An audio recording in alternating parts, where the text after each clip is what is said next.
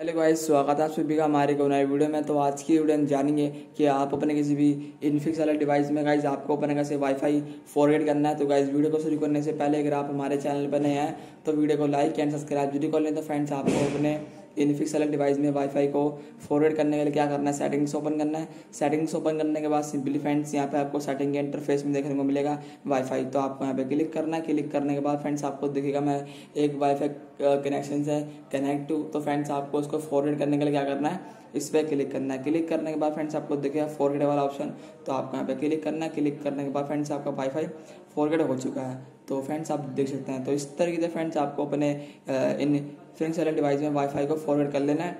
तो मैं आशा करता हूँ कि आपको हमारी वीडियो अच्छी लगी और वीडियो को ज़रूर लाइक करें और हमारे वीडियो को अपने दोस्तों के साथ शेयर ज़रूर करें।